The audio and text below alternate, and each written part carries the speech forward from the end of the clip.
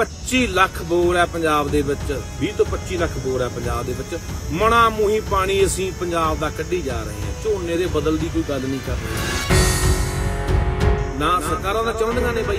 ਹਰੀ ਕ੍ਰਾਂਤੀ ਇੱਥੇ ਲਿਆਂਦੀ ਇਸ ਕਰਕੇ ਲਿਆਂਦੀ ਕਿ ਸਾਨੂੰ ਮਾਰਨਾ ਸੀ। ਹਰੀ ਕ੍ਰਾਂਤੀ ਨੇ ਸਾਨੂੰ ਦੋ ਤਿੰਨ ਨੁਕਸਾਨ ਕੀਤੇ। ਸਾਡੀ ਧਰਤੀ ਜ਼ਹਿਰੀਲੀ ਕਰਤੀ ਸਾਡੀਆਂ ਸਿਹਤਾਂ ਖਤਮ ਕਰਤੀਆਂ, ਸਾਨੂੰ ਜ਼ਹਿਰੀਲਾ ਕਰਤਾ। ਕਿ ਨਹੀਂ ਯਾਰ, ਬਹੁਤ ਗੰਭੀਰ ਮਸਲਾ ਹੈਗਾ ਸਾਡੇ ਕੋਲੇ।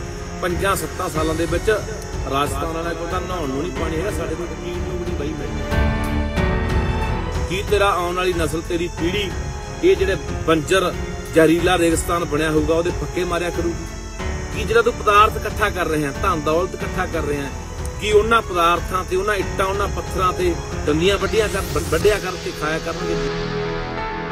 ਕਹੋ ਲੋਕੋ ਉੱਠੋ ਇਸ ਗੱਲ ਪ੍ਰਤੀ? ਸੋਚੋ, ਚਿੰਤਨ ਕਰੋ, ਵਿਚਾਰਾਂ ਕਰੋ। ਇਹਦੇ ਉੱਤੇ ਗੰਭੀਰ ਹੋਵੋ। ਮਸਲਾ ਬੜਾ ਗੰਭੀਰ ਆ। ਹਾਂਜੀ। ਮੂੰਗੀ ਦਾ ਭਰਾਵੋ, ਹੁਣ ਤੁਸੀਂ ਦੇਖ ਹੀ ਲਈ ਵੀ ਮੂੰਗੀ ਹੈ ਜਿਹੜੀ ਉਹ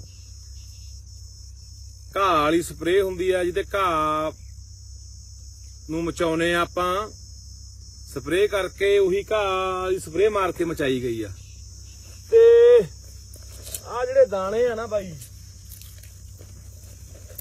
ਆਹ ਦਾਣੇ ਹੁਣ ਆਪਾਂ ਕਹਿ ਦਾ ਦਿੰਨੇ ਆ ਕਿ ਅਸੀਂ ਕਿਹੜਾ ਖਾਣੀ ਐ ਪਰ ਬਾਈ ਆਹ ਜਿਹੜੇ ਦਾਣੇ ਆ ਇਹਦੋਂ ਕੱਢ ਕੇ ਆਪਾਂ ਵੇਚ ਕੇ ਆਵਾਂਗੇ ਨਾ ਮੰਡੀ 'ਚ, ਤੇ ਉਸ ਤੋਂ ਬਾਅਦ ਇਹਦੀ ਸਫ਼ਾਈ ਕਰਕੇ ਤੇ ਲਿਫਾਫਿਆਂ 'ਚ, ਪੈਕਟਾਂ 'ਚ ਪਾ ਕੇ ਤੇ ਬਾਈ ਆਪਣੇ ਚੁੱਲ੍ਹਿਆਂ ਦੀ ਰਿੱਝਣੀ ਆ ਕੇ।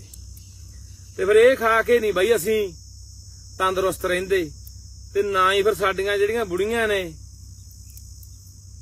ਉਹ ਫਿਰ ਦਾਰੇ ਪਹਿਲਵਾਨ ਵਰਗੇ ਪੈਦਾ ਕਰਨਗੀਆਂ, ਨਾ ਹੀ ਫਿਰ ਉਹ ਮਿਲਖਾ ਸਿੰਘ ਵਰਗੇ ਪੈਦਾ ਕਰਨਗੀਆਂ। ਉਹਦਾ ਫਿਰ ਬਾਈ ਜ਼ਹਿਰਾਂ ਵਾਲਾ ਜਦੋਂ ਖਾਣਾ ਤੇ ਫਿਰ ਉਹ ਤਾਂ ਬਾਈ ਕੋਈ ਅਪਾਹਜ ਪੈਦਾ ਹੋਊਗਾ, ਕੋਈ ਲੂਲਾ, ਕੋਈ ਲੰਗੜਾ ਪੈਦਾ ਹੋਊਗਾ, ਕੋਈ ਬਿਮਾਰੀ ਵਾਲਾ ਹੀ ਪੈਦਾ ਹੋਊਗਾ।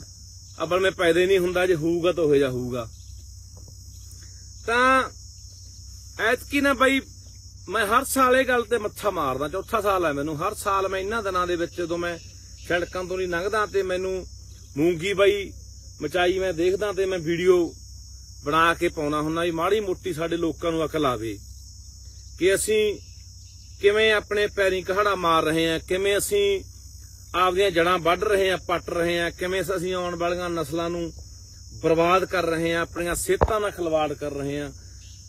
ਤਾਂ ਪਰ ਸਾਡੇ ਲੋਕਾਂ ਨੂੰ ਬਈ ਅਕਲ ਉਕਲ ਨਹੀਂ ਆਉਣੀ। ਸਬਰ ਹੁੰਦਾ ਬਈ। ਜੇ ਸਬਰ ਦੀ ਸਭ ਤੋਂ ਵੱਡੀ ਉਦਾਹਰਨ ਲੈਣੀ ਹੋਵੇ ਨਾ, ਤਾਂ ਇੱਕ ਪੰਛੀ ਤੋਂ ਲਈ ਜਾ ਸਕਦੀ ਹੈ। ਪੰਛੀ ਸਾਰਾ ਦਿਨ ਚੋਗਾ ਚੁਗਦਾ ਦਾਣੇ ਚੁਗਦਾ ਖੇਤਾਂ ਚ ਆਉਂਦਾ ਦਰਖਤਾਂ ਤੇ ਆਉਂਦਾ ਹੈ। ਜਦੋਂ ਹੱਥ ਨਹੀਂ ਜਾਂਦਾ ਨਾ, ਤਾਂ ਉਹਦੇ ਕੋਲੇ ਇੱਕ ਦਾਣਾ ਨਹੀਂ ਹੁੰਦਾ ਆਲਣੇ ਚ।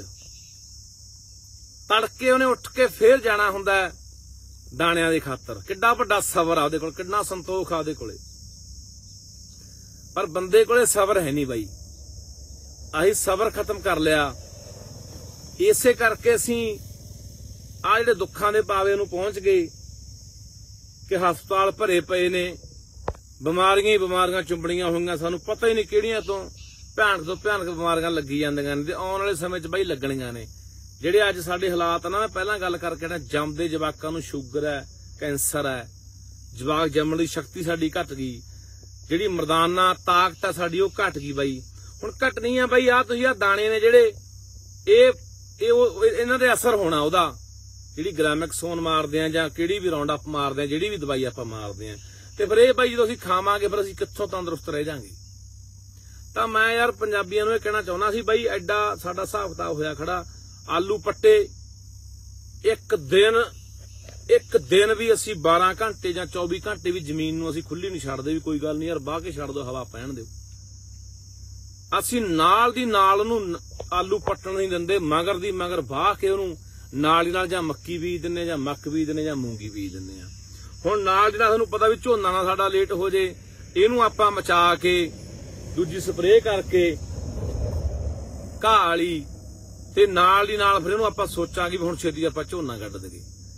ਤਾਂ ਬਾਈ ਜਦੋਂ ਤੁਸੀਂ ਜ਼ਮੀਨਾਂ ਨੂੰ ਸਾਹ ਹੀ ਨਹੀਂ ਆਪਾਂ ਲੈਣ ਦਿੰਦੇ, ਤੁੰਨੀ ਜਾਣਾ ਤੁੰਨੀ ਜਾਣਾ, ਕਿੰਨਾ ਕੁ ਚਿਰ ਬਾਈ ਇਹ ਫਸਲਾਂ ਦੇਣਗੀਆਂ? ਜ਼ਮੀਨਾਂ ਸਾਡੀਆਂ ਅੱਜ ਕੱਲ ਬਾਈ ਜਿਵੇਂ ਇੱਕ ਨਸ਼ੇੜੀ ਬੰਦਾ ਨਸ਼ੇ ਤੇ ਲੱਗ ਜਾਂਦਾ ਨਾ, ਉਹਨੂੰ ਜੇ ਨਸ਼ਾ ਨਾ ਮਿਲੇ ਤਾਂ ਉਹ ਸਰੀਰ ਟੁੱਟਦਾ ਉਹ ਬੰਦਾ ਇੱਥੋਂ ਤੱਕ ਪਹੁੰਚ ਜਾਂਦਾ ਵੀ ਆਤਮ ਹੱਤਿਆ ਵੀ ਕਰਨ ਲਈ ਬੰਦਾ ਮਜਬੂਰ ਹੋ ਜਾਂਦਾ, ਜੇ ਨਸ਼ੇੜੀ ਬੰਦੇ ਨੂੰ ਨਸ਼ਾ ਨਾ ਮਿਲੇ। ਉਹ ਵੀ ਸਾਡੀ ਬਾਈ ਜ਼ਮੀਨਾਂ ਹੋ ਗਈਆਂ, ਸਾਡੀ ਧਰਤੀ ਹੋ ਗਈ। ਇਹਨੂੰ ਜੇ ਤੁਸੀਂ ਰੇ, ਸਪਰੇ ਜਿੰਨਾ ਜ਼ਹਿਰੀਲਾ ਪੈਸਟੀਸਾਈਡ ਨਹੀਂ ਦਿਓਗੇ ਬਾਈ, ਇਹਨੇ ਫਸਲ ਨਹੀਂ ਦੇਣੀ। ਉਹ ਅਸੀਂ ਲਾ ਲਈ। ਜਿਵੇਂ ਅਮਲੀ ਨਸ਼ੇ ਤੇ ਲੱਗਦਾ, ਐ ਸਾਡੀਆਂ ਜ਼ਮੀਨਾਂ ਵੀ ਨਸ਼ੇ ਤੇ ਲੱਗ ਗਈਆਂ ਬਈ।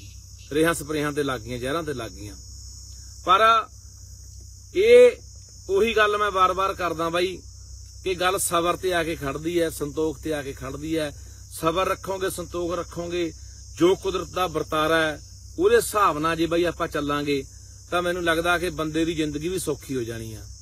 ਅਸੀਂ ਵਧੀਆ ਤਰੀਕੇ ਨਾਲ ਜਿਉ ਸਕਦੇ ਹਾਂ, ਵਧੀਆ ਸਿਹਤਾਂ ਸਾਡੀਆਂ ਹੋ ਸਕਦੀਆਂ, ਬਿਨਾਂ ਬਿਮਾਰੀਆਂ ਤੋਂ ਬਿਮਾਰੀ ਰਹਿਤ ਅਸੀਂ ਹੋ ਸਕਦੇ ਹਾਂ, ਪਰ ਅਸੀਂ ਇਹ ਸੋਚਣਾ ਨਹੀਂ ਹੈਗਾ। ਸਾਡੇ ਲਈ ਬਸ ਦੋ ਤਿੰਨ ਗੱਲਾਂ ਭਾਰੂ ਨੇ। ਪਦਾਰਥਵਾਦ ਭਾਰੂ ਹੋ ਗਿਆ ਬੰਦੇ ਤੇ, ਪੈਸਾ ਭਾਰੂ ਹੋ ਗਿਆ। ਬੰਦੇ ਦੀ ਦੌੜ ਜਿਹੜੀ ਲੱਗੀ ਹੋਈ ਨੇ, ਬੰਦਾ ਐ ਬੜਾ ਅੰਨਾ ਹੋਇਆ ਫਿਰਦਾ, ਬੰਦਾ ਕਾਲਾ ਹੋਇਆ ਫਿਰਦਾ, ਬੜੀ ਦੌੜ ਚ ਬੰਦਾ। ਵੀ ਛੇਤੀ ਛੇਤੀ ਛੇਤੀ ਛੇਤੀ ਜਿਵੇਂ ਕਿਸੇ ਖੂਹ ਡਿੱਗਣਾ ਹੁੰਦਾ, ਇੰਨੀ ਦੌੜ ਚ ਬਾਈ ਬੰਦਾ। ਪਰ ਮੈਂ ਇੰਨੀ ਗੱਲ ਪੁੱਛਣਾ ਚਾਹੁੰਦਾ ਇਸ ਇਨਸਾਨ ਨੂੰ ਇਸ ਬੰਦੇ ਨੂੰ ਵੀ ਬੰਦਿਆ। ਜੇ ਕਿਤੇ ਆਪਾਂ ਬਈ ਐਡੀ ਕਾਲ ਚ ਆਂ, ਜੇ 50 ਸਾਲ ਪਹਿਲਾਂ ਜੰਮੇ ਹੁੰਦੇ ਮਰ ਜਾਂਦੇ ਬਈ ਅੱਜ ਨੂੰ। ਪਾਣੀਆਂ ਦੀ ਗੱਲ ਆਪਾਂ ਬਾਈ ਕਰਦੇ ਆਂ ਕਿ ਸਭ ਤੋਂ ਵੱਧ ਪਾਣੀ ਆ ਜਿਹੜਾ ਆਪਾਂ ਬਰਬਾਦ ਕਰਦੇ ਆ। 1 ਕਿਲੋ ਕਹਿੰਦੇ ਚੌਲ ਤਿਆਰ ਹੋਣ ਦੇ ਵਿੱਚ 4 ਤੋਂ 5000 ਲੀਟਰ ਪਾਣੀ ਲੱਗ ਜਾਂਦਾ ਤੇ 25 ਲੱਖ ਬੋਰ ਹੈ ਪੰਜਾਬ ਦੇ ਵਿੱਚ 20 ਤੋਂ 25 ਲੱਖ ਬੋਰ ਹੈ ਪੰਜਾਬ ਦੇ ਵਿੱਚ। ਮਣਾ ਮੂਹੀ ਪਾਣੀ ਅਸੀਂ ਪੰਜਾਬ ਦਾ ਕੱਢੀ ਜਾ ਰਹੇ ਹਾਂ। ਝੋਨੇ ਦੇ ਬਦਲ ਦੀ ਕੋਈ ਗੱਲ ਨਹੀਂ ਕਰ ਰਹੇ। ਨਾ ਸਰਕਾਰਾਂ ਦਾ ਚਾਹੁੰਦੀਆਂ ਨੇ ਬਾਈ, ਹਰੀ ਕ੍ਰਾਂਤੀ ਇੱਥੇ ਲਿਆਂਦੀ, ਕਿਸ ਕਰਕੇ ਲਿਆਂਦੀ? ਕਿ ਸਾਨੂੰ ਮਾਰਨਾ ਸੀ। ਝੋਨਾ ਜਾਣਬੁੱਝ ਕੇ ਇੱਥੇ ਲਵਾਇਆ ਗਿਆ। ਹਰੀ ਕ੍ਰਾਂਤੀ ਨੇ ਸਾਨੂੰ ਦੋ ਤਿੰਨ ਨੁਕਸਾਨ ਕੀਤੇ। ਸਾਡੀ ਧਰਤੀ ਜ਼ਹਿਰੀਲੀ ਕਰਤੀ। ਸਾਡੀਆਂ ਸਿਹਤਾਂ ਖਤਮ ਕਰਤੀਆਂ। ਸਾਨੂੰ ਜ਼ਹਿਰੀਲਾ ਕਰਤਾ। ਮਾਰਤਾ ਸਾਨੂੰ ਇੰਨੀਆਂ ਬਿਮਾਰੀਆਂ ਲਾਤੀਆਂ। ਸਾਡੇ ਪਾਣੀ ਖਤਮ ਕਰਤੇ, ਝੋਨੇ ਲਾ ਲਾ। ਸੋ ਇਸ ਕਰਕੇ ਇਹ ਜਿਹੜਾ ਸਾਰਾ ਵਰਤਾਰਾ ਇਹ ਸਮਝੇ ਨਹੀਂ। ਇੱਕ ਸਾਜ਼ਿਸ਼ ਦੇ ਨਾਲ ਸਾਡੀਆਂ ਸਿਹਤਾਂ ਨਾਲ ਖਿਲਵਾੜ, ਸਾਡੀਆਂ ਜ਼ਮੀਨਾਂ, ਸਾਡੀ ਧਰਤੀ ਨਾਲ ਖਿਲਵਾੜ, ਸਾਡੀ ਕੁਦਰਤ ਨਾਲ ਖਿਲਵਾੜ ਕੀਤਾ ਗਿਆ। ਅੱਜ ਵੀ ਅਸੀਂ ਸਮਝ ਨਹੀਂ ਰਹੇ, ਕਿਸੇ ਬੰਦੇ ਨਾਲ ਕੋਈ ਬੰਦਾ ਚਿੰਤਾ 'ਚ ਨਹੀਂ, ਕੋਈ ਚਿੰਤਨ ਨਹੀਂ ਕਰਦਾ ਹੈਗਾ, ਕੋਈ ਸਿਆਸੀ ਧਿਰਾਣੇ ਇਸ ਗੱਲ ਦੇ ਉੱਤੇ ਬੈਠ ਕੇ ਵਿਚਾਰਾਂ ਕਰਦੀਆਂ। ਕੋਈ ਜਿਹੜੇ ਬੁੱਧੀਜੀਵੀ ਨੇ ਵਿਚਾਰੇ ਥੋੜੇ ਮੋਟੇ ਰੌਲਾ ਪਾਉਂਦੇ ਨੇ, ਵੱਡੀ ਗਿਣਤੀ ਤੇ ਚੁੱਪੀ ਹੋਏ ਬੈਠੇ ਨੇ। ਕਿ ਨਹੀਂ ਯਾਰ, ਬਹੁਤ ਗੰਭੀਰ ਮਸਲਾ ਹੈਗਾ ਸਾਡੇ ਕੋਲੇ 5-7 ਸਾਲਾਂ ਦੇ ਵਿੱਚ ਰਾਜਸਥਾਨ ਵਾਲਿਆਂ ਕੋਲ ਤਾਂ ਨਹਾਉਣ ਨੂੰ ਨਹੀਂ ਪਾਣੀ ਹੈਗਾ, ਸਾਡੇ ਕੋਲ ਪੀਣ ਨੂੰ ਵੀ ਨਹੀਂ ਬਾਈ ਮਿਲਣਾ। ਤਾਂ ਬੰਦਿਆ, ਮੈਂ ਤੁਹਾਨੂੰ ਇੰਨੀ ਗੱਲ ਪੁੱਛਣਾ ਚਾਹੁੰਦਾ ਕਿ ਜਦੋਂ ਇਹ ਪੰਜਾਬ ਇੱਕ ਰੇਗਿਸਤਾਨ ਬਣ ਜਾਣਾ, ਇੱਕ ਬੰਜਰ ਹੋ ਜਾਣਾ ਇਸ ਪੰਜਾਬ ਨੇ, ਉਹ ਬੰਜਰ ਰੇਗਿਸਤਾਨ, ਜ਼ਹਿਰੀਲਾ ਰੇਗਿਸਤਾਨ ਹੋਊਗਾ ਇਹ ਧਰਤੀ ਜ਼ਹਿਰੀਲੀ ਹੈ ਸਾਰੀ। ਤੇ ਇੱਥੇ ਤਰਾ ਤਰਾ ਕਰਨਾ, ਇੱਕ ਬੁੱਲ ਗਿੱਲੇ ਕਰਨ ਨੂੰ ਵੀ ਸਾਨੂੰ ਇੱਕ ਬੂੰਦ ਪਾਣੀ, ਘੁੱਟ ਪਾਣੀ ਨਹੀਂ ਮਿਲਣਾ। ਤਾਂ ਕੀ ਤੇਰੀਆਂ ਆਉਣ ਵਾਲੀਆਂ ਨਸਲਾਂ ਦੇ ਰਹਿਣ ਜੋਗਰੀ ਇਹ ਥਾਂ ਰਹਿਣੀ ਹੈ, ਇਹ ਧਰਤੀ ਰਹੂਗੀ। ਕੀ ਤੇਰਾ ਆਉਣ ਵਾਲੀ ਨਸਲ, ਤੇਰੀ ਪੀੜ੍ਹੀ, ਇਹ ਜਿਹੜੇ ਬੰਜਰ ਜ਼ਹਿਰੀਲਾ ਰੇਗਿਸਤਾਨ ਬਣਿਆ ਹੋਊਗਾ, ਉਹਦੇ ਫੱਕੇ ਮਾਰਿਆ ਕਰੂਗੀ? ਕਿ ਜਿਹੜਾ ਤੂੰ ਪਦਾਰਥ ਇਕੱਠਾ ਕਰ ਰਹੇ ਹੈ ਧਨ ਦੌਲਤ ਇਕੱਠਾ ਕਰ ਰਹੇ ਕਿ ਕੀ ਉਹਨਾਂ ਪਦਾਰਥਾਂ ਤੇ, ਉਹਨਾਂ ਇੱਟਾਂ, ਉਹਨਾਂ ਪੱਥਰਾਂ ਤੇ ਦੰਦੀਆਂ ਵੱਡੀਆਂ ਕਰ ਵੱਡਿਆ ਕਰਕੇ ਖਾਇਆ ਕਰਨਗੇ ਦੰਦੀਆਂ ਨਾਲ ਤੇਰੀ ਆਉਣ ਵਾਲੀਆਂ ਨਸਲਾਂ। ਕੀ ਤੇਰੇ ਸਰਮਾਏ ਨੂੰ, ਤੇਰੀ ਦੌਲਤ ਨੂੰ ਜਿਹੜੀਆਂ ਤੂੰ ਬੈਂਕਾਂ 'ਚ ਇਕੱਠੀਆਂ ਕਰ ਰਿਹਾ ਉਹਨੂੰ ਖਾਇਆ ਕਰਨਗੇ? ਇਹ ਸਮਝ ਯਾਰ, ਇਹ ਅਕਲ ਨੂੰ ਹੱਥ ਮਾਰ, ਅਕਲ ਨੂੰ ਹੱਥ ਮਾਰ। ਇਸ ਗੱਲ ਪ੍ਰਤੀ ਮੈਂ ਮੇਰੇ ਪੰਜਾਬ ਦੇ ਲੋਕਾਂ ਨੂੰ ਅਪੀਲ ਕਰਦਾ, ਬੇਨਤੀ ਕਰਦਾ ਉਹ ਲੋਕੋ, ਉੱਠੋ ਇਸ ਗੱਲ ਪ੍ਰਤੀ। ਸੋਚੋ, ਚਿੰਤਨ ਕਰੋ, ਵਿਚਾਰਾਂ ਕਰੋ, ਇਹਦੇ ਉੱਤੇ ਗੰਭੀਰ ਹੋਵੋ। ਮਸਲਾ ਬੜਾ ਗੰਭੀਰ ਆ। ਅਸੀਂ ਕਿਉਂ ਨਹੀਂ ਇਸ ਗੱਲ ਦੇ ਰੌਲਾ ਪਾਉਂਦੇ ਵੀ ਝੋਨੇ ਦਾ ਬਦਲ ਲੈ ਕੇ ਆਓ, ਸਾਨੂੰ ਮਾਰਤਾ ਸਾਡਾ ਪਾਣੀ ਖਤਮ ਹੋ ਗਿਆ। 25 ਫੁੱਟ ਵਾਲਾ ਗਿਆ 100 ਵਾਲਾ ਗਿਆ 300 ਵਾਲਾ ਗਿਆ 500 ਵਾਲਾ ਕੱਢੀ ਜਾਂਦੇ ਆ। ਦੂਰੀਆਂ ਦੂਰੀਆਂ, ਤੀਰੀਆਂ ਤੀਰੀਆਂ ਮੋਟਰਾਂ ਅਸੀਂ ਪਾਉਣ ਲੱਗ ਗਏ। ਉਹ ਖਤਮ ਹੋ ਜਾਣਾ ਪੰਜਾਬ ਨੇ, ਬਰਬਾਦ ਹੋ ਜਾਣਾ ਪੰਜਾਬ ਨੇ ਥੋੜੀ ਸੱਭਿਆਤਾ ਨੇ ਉੱਜੜ ਜਾਣਾ ਹੈ।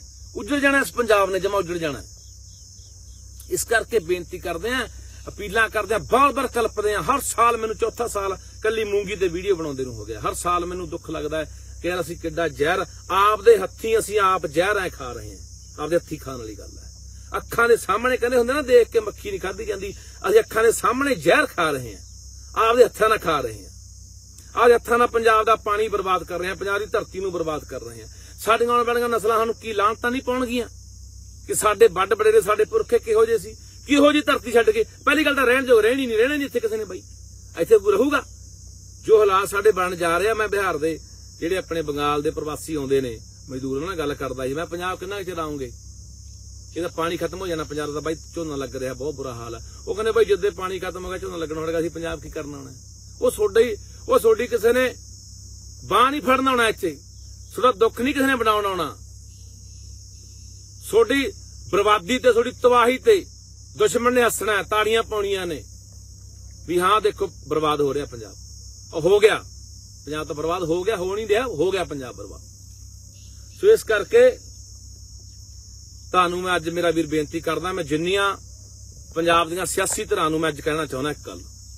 ਚਾਹੇ ਰਵਾਇਤੀ ਧਿਰਾਂ ਨੇ, ਬਾਦਲ ਹੋਣ, ਕਾਂਗਰਸੀ ਹੋਣ, ਚਾਹੇ ਦੂਜੀਆਂ ਧਿਰਾਂ ਜਿਹੜੀਆਂ ਅੱਜ ਕੱਲ੍ਹ ਸਰਕਾਰ ਬਣਾਉਣ ਦੀ ਸੋਚ ਰਹੀਆਂ ਨੇ, ਚਾਹੇ ਉਹ ਬੀਐਸਪੀ ਹੋਵੇ, ਚਾਹੇ ਉਹ ਬਹੁਜਨ ਸਮਾਜ ਪਾਰਟੀ ਹੋਵੇ, ਚਾਹੇ ਭਾਰਤੀ ਜਨਤਾ ਪਾਰਟੀ ਹੋਵੇ, ਚਾਹੇ ਉਹ ਆਮ ਆਦਮੀ ਪਾਰਟੀ ਹੋਵੇ ਚਾਹੇ ਕਾਂਗਰਸਾਂ ਦੀ ਪਾਰਟੀ ਹੋਵੇ, ਜਿਹੜੀਆਂ ਵੀ ਮਰਜ਼ੀ ਪਾਰਟੀਆਂ ਨੇ ਲੋਕਾਂ ਨੂੰ ਅਪੀਲ ਕਰਦਾ ਕਿ ਇਹਨਾਂ ਪਾਰਟੀਆਂ ਤੇ ਇੱਕ ਜ਼ੋਰ ਪਾ ਕੇ ਇੱਕ ਦਬਾਅ ਬਣਾਓ ਕਿ ਤੁਹਾਡੇ ਚੋਣ ਮੈਨੀਫੈਸਟੋ ਨੂੰ ਇੱਕ ਕਾਨੂੰਨੀ ਰੂਪ ਦਿੱਤਾ ਜਾਵੇ।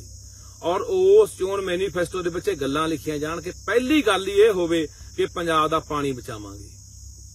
ਪੰਜਾਬ ਦੀ ਧਰਤੀ ਨੂੰ ਜ਼ਹਿਰ ਤੋਂ ਮੁਕਤ ਕਰਾਂਗੇ। ਪੰਜਾਬ ਦੇ ਪਾਣੀਆਂ ਨੂੰ ਬਰਬਾਦ ਹੋਣ ਤੋਂ ਜ਼ਹਿਰੀਲੇ ਹੋਣ ਤੋਂ ਬਚਾਵਾਂਗੇ। ਪੰਜਾਬ ਦੀ ਹਵਾ ਨੂੰ ਦੂਸ਼ਿਤ ਹੋਣ ਤੋਂ ਬਚਾਵਾਂਗੇ। ਪੰਜਾਬ ਦੀ ਧਰਤੀ ਦੇ ਰੁੱਖ ਲਾਉਣ ਲਈ ਜਿਵੇਂ ਇੱਕ ਧਾਰਾ ਕਾਨੂੰਨ ਬਣਨਾ ਚਾਹੀਦਾ ਹੈ। ਵਿਧਾਨ ਸਭਾ ਦੇ ਵਿੱਚ ਵੀ ਜਿਹੜਾ ਵੀ ਬੰਦਾ ਰੁੱਖ ਕੱਟੂਗਾ, ਉਹਦੇ ਖਿਲਾਫ ਘੱਟੋ ਘੱਟ ਜੋ ਮੈਨੂੰ ਲੱਗਦਾ ਹੈ ਕਿ ਉਹ ਬੰਦੇ ਦੀ 5 ਸਾਲ ਤਾਂ 5 ਸਾਲ ਤੱਕ ਦੀ ਕੈਦ ਤੇ ਸਾਲ ਤੱਕ ਉਹਦੀ ਜ਼ਮਾਨਤ ਨਾ ਹੋਵੇ ਤੇ 10 ਲੱਖ ਰੁਪਏ ਜੁਰਮਾਨਾ ਹੋਵੇ। ਇਸ ਤਰ੍ਹਾਂ ਦੀਆਂ ਗੱਲਾਂ ਚੋਣ ਮੈਨੀਫੈਸਟੋ ਦੇ ਵਿੱਚ ਲੈ ਕੇ ਆਉਣੀਆਂ ਚਾਹੀਦੀ ਚਾਹੁੰਦਾ ਰਿਹਾ ਜੇ ਲੋਕ ਜਾਉਂਦੇ ਰਹੇ, ਫੇਰ ਹੀ ਤੁਹਾਨੂੰ ਵੋਟਾਂ ਪੈਣਗੀਆਂ। ਜੇ ਧਰਤੀ ਉੱਜੜ ਗਈ, ਲੋਕ ਹੀ ਉੱਜੜ ਗਏ, ਲੋਕ ਹੀ ਮਰ ਗਏ, ਇੱਥੇ ਕੋਈ ਰਿਹਾ ਹੀ ਨਾ। ਤੁਸੀਂ ਕਿੱਥੇ ਰਹੋਗੇ? ਕਿਹਦੇ ਸਿਰ ਤੇ ਰਾਜ ਕਰੋਗੇ? ਮਾੜਾ ਮੋਟਾ ਇਧਰ ਨੂੰ ਵੀ ਧਿਆਨ ਮਾਰ ਲਓ, ਇਧਰ ਨੂੰ ਵੀ ਅਕਲ ਨੂੰ ਹੱਥ ਮਾਰ ਲਓ। ਆਓ ਪੰਜਾਬ ਵਾਲਿਓ, ਮੇਰਾ ਵੀਰ ਬੜਾ ਦੁੱਖ ਲੱਗਦਾ। 24 ਘੰਟੇ ਇਹੀ ਇਹੀ ਸੁੱਤੇ ਪਿਆਂ ਦੇ ਵੀ ਦਿਮਾਗ ਦੇ ਵਿੱਚ, ਇਹੀ ਦਿਮਾਗ ਦੇ ਵਿੱਚ ਵਿਚਾਰ ਚੱਲਦੇ ਰਹਿੰਦੇ ਨੇ ਕਿ ਯਾਰ ਪੰਜਾਬ ਕਿਵੇਂ ਬਚੂਗਾ? ਪੰਜਾਬ ਕਿਵੇਂ ਬਚੂਗਾ? ਕੀ ਕਰਗੇ ਕਿਹੜਾ ਇਹੋ ਜਿਹਾ ਕੰਮ ਕਰਗੇ ਜਿਹਦੇ ਨਾਲ ਪੰਜਾਬ ਬਚ ਸਕਦਾ? ਇਸੇ ਕਰਕੇ 12 ਘੰਟੇ 24 ਘੰਟੇ, ਚੱਤੋ ਪੈਰ ਦਿਮਾਗ ਦੇ ਵਿੱਚ ਕੋਈ ਚਿੰਤਾ ਰਹਿੰਦੀ ਹੈ ਤਾਈਓ ਤੁਹਾਡੇ ਅੱਗੇ ਕਲਪਦੇ ਰਹਿੰਦੇ ਉੱਠੋ ਪੰਜਾਬ ਵਾਲੇ, ਉੱਠੋ, ਆਵਾਜ਼ ਬੁਲੰਦ ਕਰੋ, ਆਪਣੀਆਂ ਪੀੜ੍ਹੀਆਂ ਲਈ, ਆਪਣੀਆਂ ਨਸਲਾਂ ਲਈ, ਆਪਣੇ ਵਜੂਦ ਲਈ, ਆਪਣੇ ਹੋਂਦ ਲਈ, ਇਸ ਪੰਜਾਬ ਦੀ ਸੱਭਿਅਤਾ ਨੂੰ ਬਚਾਉਣ ਲਈ, ਇਸ ਵਿਰਾਸਤ ਨੂੰ ਬਚਾਉਣ ਲਈ, ਇਹਦੇ ਅਜਾੜੇ ਨੂੰ ਬਚਾਉਣ ਲਈ ਆਪਾਂ ਉੱਠ ਕੇ ਲੜੀਏ ਉੱਠ ਕੇ ਕਿੰਨਾ ਗੱਲਾਂ ਦੇ ਉੱਤੇ ਵਿਚਾਰ ਕਰੀਏ, ਗੌਰ ਕਰਕੇ ਕੱਲਾ ਸੁਣ ਲਿਆ ਕਰਦੇ ਆ, ਸੁਣ ਲੈਂਦੇ ਹੋ, ਠੀਕ ਆ ਬਾਈ, ਗੱਲ ਤਾਂ ਹੀ ਹੈ ਠੀਕ ਆ ਬਾਈ, ਗੱਲ ਤਾਂ ਹੀ ਹੈ ਬਸ। ਕੱਲਾ ਫੇਸਬੁੱਕ ਦੇ ਉੱਤੇ ਆ ਸੋਸ਼ਲ ਮੀਡੀਆ ਦੇ ਉੱਤੇ ਠੀਕ ਬਾਈ ਕਹਿ ਕੇ ਲਿਖਣ ਵਾਲੇ ਹੋ। ਗਾਂ ਨਹੀਂ ਉਦੋਂ ਡੱਕਾ ਤੋੜਨਾ। ਪ੍ਰਣਾਲਾ ਉੱਥੇ ਦਾ ਉੱਥੇ ਖੜਾ ਰਹਿਣ ਦੇਣਾ ਸੀ। ਸੋ ਆਓ ਉੱਠ ਕੇ ਆਪਾਂ ਮੇਰਾ ਵੀਰ, ਇਹਨਾਂ ਗੱਲਾਂ ਦੇ ਸਾਰੀਆਂ ਦੇ ਗੌਰ ਕਰਗੇ ਤੇ ਇੱਕ ਨਵਾਂ ਤੇ ਇੱਕ ਨਰੋਆ ਸਿਹਤਮੰਦ ਪੰਜਾਬ ਸਿਰਜੀਏ। ਇੱਕ ਸਿਹਤਮੰਦ ਸਾਡੀ ਪੰਜਾਬੀਅਤ, ਸਾਡੀ ਹੋਂਦ ਨੂੰ ਬਰਕਰਾਰ ਰੱਖਣ ਦੇ ਲਈ ਆਪਾਂ ਲੜਾਈ ਲੜ ਰਹੇ ਹਾਂ।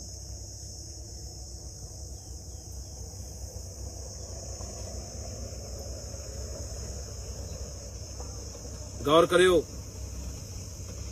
ਜਰੂਰ ਗੌਰ ਕਰਿਓ, ਇਕੱਲੇ ਬੈਠ ਕੇ ਚਿੰਤਨ ਕਰਿਓ। ਕਮਰੇ ਤੇ ਠਾਂ ਬੈਠ ਕੇ, ਕਿਸੇ ਦਰਖਤ, ਕਿਸੇ ਰੁੱਖੇ ਠਾਂ ਬੈਠ ਕੇ ਆਪਣੇ ਆਪ ਨੂੰ ਸਵਾਲ ਪੁੱਛੋ। ਆਪਣੀ ਆਤਮਾ ਨੂੰ ਪੁੱਛੋ ਕਿ ਸਾਡਾ ਫਰਜ਼ ਬਣਦਾ ਕਿ ਨਹੀਂ ਬਣਦਾ। ਅਸੀਂ ਨਸਲਾਂ ਨੂੰ ਬਚਾਉਣਾ ਕਿ ਨਹੀਂ ਬਚਾਉਣਾ, ਇਸ ਧਰਤੀ ਨੂੰ ਬਚਾਉਣਾ ਕਿ ਨਹੀਂ ਬਚਾਉਣਾ, ਪੰਜਾਬ ਨੂੰ ਬਚਾਉਣਾ ਕਿ ਨਹੀਂ ਬਚਾਉਣਾ, ਇਸ ਗੱਲ ਤੇ ਅਮਲ ਕਰਿਓ। ਅਮਲਾਂ ਬਿਨਾਂ ਨਿਬੇੜੇ ਨਹੀਂ ਹੋਣੇ। ਵਾਹਿਗੁਰੂ ਜੀ ਖਾਲਸਾ, ਵਾਹਿਗੁਰੂ ਜੀ ਕੀ ਫਤਿਹ। P5 ਚੈਨਲ ਪੰਜਾਬੀ ਹੁਣੇ ਸਬਸਕ੍ਰਾਈਬ ਕਰੋ ਬੈਲ ਆਈਕਨ ਤੇ ਕਲਿੱਕ ਕਰੋ। ਬਾਣੀ ਗੁਰੂ ਗੁਰੂ ਹੈ ਬਾਣੀ, ਵਿੱਚ ਬਾਣੀ ਅੰਮ੍ਰਿਤ ਸਾਰੇ। ਗਿਆਨੀ ਸਾਹਿਬ ਸਿੰਘ ਜੀ ਸ਼ਾਹਬਾਦ ਮਾਰਕੰਡਾ ਵਾਲਿਆਂ ਨਾਲ ਕਰੋ ਸਿੱਧੀ ਗੱਲਬਾਤ ਤੇ ਜਾਣੋ ਗੁਰਬਾਣੀ ਦੇ ਅਰਥ। ਰੋਜ਼ਾਨਾ ਪਾਠ ਕਰਨ ਵਾਲੇ ਇਹ ਪ੍ਰੋਗਰਾਮ ਜ਼ਰੂਰ ਦੇਖਣ ਤੇ ਗੁਰੂ ਸਾਹਿਬ ਦੀਆਂ ਅਸੀਸਾਂ ਦੇ ਪਾਤਰ ਬਣਨ। ਦੇਖਣਾ ਨਾ ਭੁੱਲਣਾ ਸਾਡਾ ਖਾਸ ਪ੍ਰੋਗਰਾਮ ਗੁਰਬਾਣੀ ਗਿਆਨ, ਐਤਵਾਰ ਸਵੇਰੇ 7 ਤੋਂ 8 ਵਜੇ ਤੱਕ। D5 ਚੈਨਲ ਪੰਜਾਬੀ ਤੇ।